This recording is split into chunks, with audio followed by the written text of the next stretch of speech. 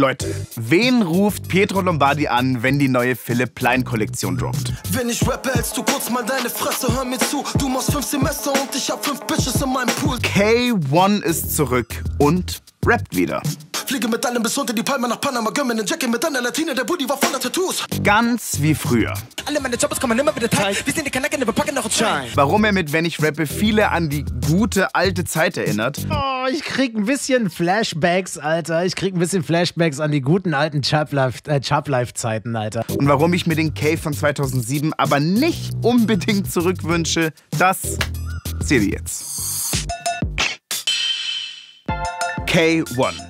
Kenneth Glöckler mit einem Ö. Ganz wichtig, Glöckler, nur ein Ö.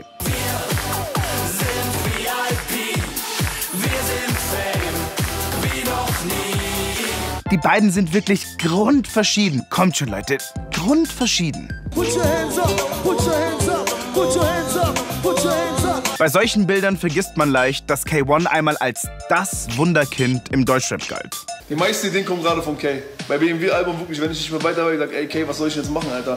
Und dann fängt der an, rap mal so, Ding, alles klar, Bombe, Album fertig. Wirklich, also BMW ist, könnte man sagen, zu 80% von Kay. Was er wohl noch so alles geschrieben hat? Hm. Mit diesem Meisterwerk Ich hab, ich hab, ich hab, ich hab, ich hab Style und das Geld. prägen K1 und Bushido 2010 ein Stück deutsche Popkultur. Ich hab, ich hab Style und das Geld. Ich hab all das, was den Fotzen so gefällt. Der Höhepunkt einer einzigartigen Männerfreundschaft. Danach geht's steil bergab. Ihr wisst es ja alle. Das EGJ Dream Team geht irgendwann in die Brüche und schenkt uns eine der legendärsten Schlammschlachten in der Geschichte von Deutschrap. Fast ein Jahrzehnt Beef, Distracks, Stern-TV-Interviews, Polizeischutz, Long Story Short. Es war so krass, Alter. Es ist so krass, Mann. Es ist so krass. Was da im Hintergrund alles passiert ist und so, ne? In dieser Zeit entdeckt das Privatfernsehen den guten Kay und, ah, wie sag ich's? Ah ja, Arsch auf Eimer. Yo, was geht ab, Leute? Das ist euer Mann Prince K1 und ähm, ich bin heute zu sehen bei Köln 50667. 2015 sucht er bei einer Dating-Show seine Prinzessin. Spoiler Alert, keine dabei.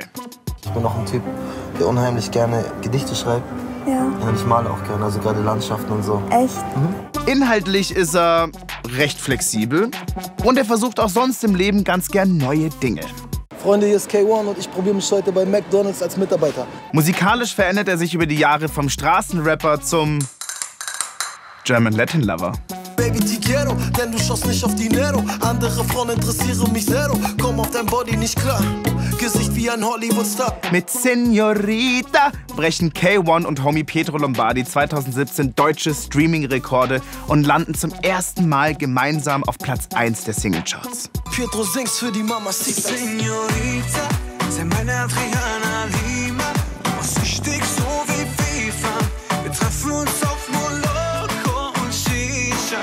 Dieser ganze exotische Urlaubsflirt-Kitsch funktioniert in Robinson Deutschland super gut.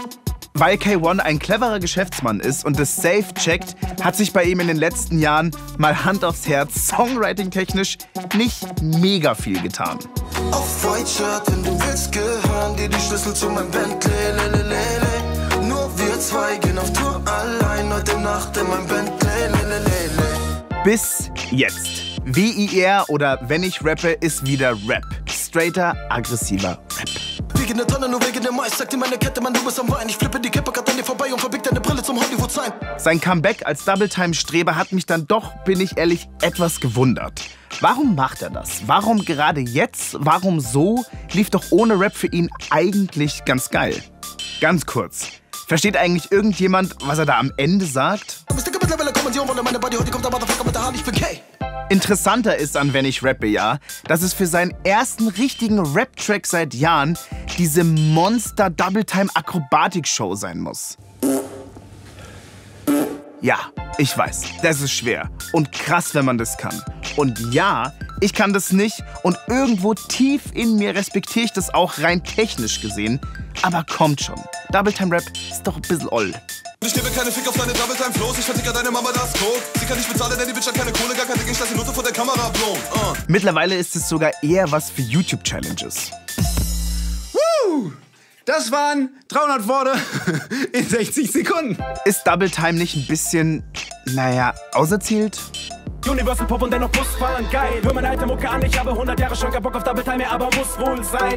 Was sind denn für euch die legendärsten Double Time Parts of all time? Schreibt's mir in die Kommentare. Ich finde, diese höher, schneller, tighter Angeberei wirkt heute albern. Ist eben nicht mehr 2007 Yo, yo, checker, yeah. Yeah, oh shit, bin ich real bleib. Grad am Start und ich mach meinen Freestyle. Frauen sagen, Little King ist so hart. Ich bin hier mit Heiko, AK.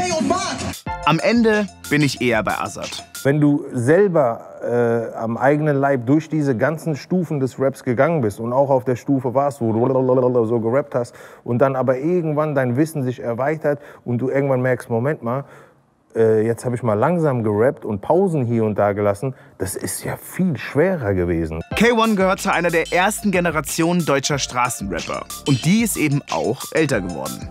Wie Shindy oder Bushido ist er gerade dabei, einen Weg zu finden, als Rapper relevant zu bleiben. Während der eine auf arroganten Großverdiener macht, macht der andere immer noch Stress ohne Grund. Er ist guter Junge und ich steigere mein Reimvermögen. Und deine Mutter kriegt meinen Schwanz in ihre Speiseröhre. Damals hat dieses Prollrap-Ding die erste Realkeeper-Deutschrap-Generation erschreckt. Heute, über zehn Jahre später, schockt es doch kaum noch jemanden. Wenn K1 2021 wieder rappt wie damals, liegt das vielleicht einfach daran, dass ihm nichts Neues einfällt? Ich bleib für immer dieser Junge von damals, noch wird gern die Zeit zurückdrehen. Man muss aber auch einfach anerkennen, viele, viele Leute feiern K1s neues Video.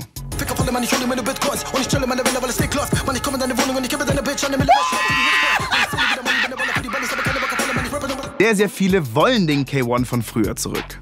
Komm mit der Gun, meine Magnum Klick. Gebe kein Big K Rocks the K. Für Nostalgie gibt es eben einen Markt. Es würde mich nicht wundern, wenn WER nur ein Vorbote wäre für ein Oldschool Deutschrap-Album von Prince K1. Wenn Rapper altern, altern auch ihre Fans. Double Time und EGJ-Vibe hält die bei Laune, die mit Pascha und Shirin nichts mehr anfangen können. Die Rap wollen, wie er damals war. Finanziell gesehen wäre ein neues K1-Album für ihn sicherlich nicht mies. Brauchen wir das? Nee. Wäre es ein bisschen lustig? Definitiv. Oder wie seht ihr das? Brauchen wir dieses Album? Kann euch K1 überhaupt mit diesem Double-Time-Part beeindrucken? Schreibt's mir in die Kommentare. Wie Deutschrap heute klingt, das kann man bei Luciano hören. Warum sein Drillfilm aber auch langsam graue Haare bekommt, das seht ihr hier. Hier kommt ihr zur Puls Musikanalyse der Podcast mit meiner Kollegin Tamara Gütschlü. Und Leute, ihr kennt das Spiel. Wenn euch das Video gefallen hat, lasst ein Abo, da macht die Glocke an. Ciao, bis nächste Woche. Seht ihr? Es ist doch wack.